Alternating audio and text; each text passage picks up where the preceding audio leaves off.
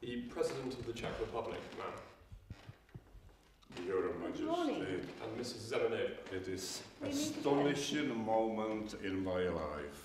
Astonishing moment. Good morning. Good very nice morning. Good morning. my wife and my daughter who studies in London College University. Oh, do you? Really? yes, I do. Yeah. Hmm. That's very nice. So are you on, on a visit here to for visiting London? Uh, yes, of course. This is my first visit to London in my life. Is it? Yes. Oh. And is it your Uh, first my visit? to last visit was here three years ago when I met Tony Blair, my good Really? friend. Mhm. Yes.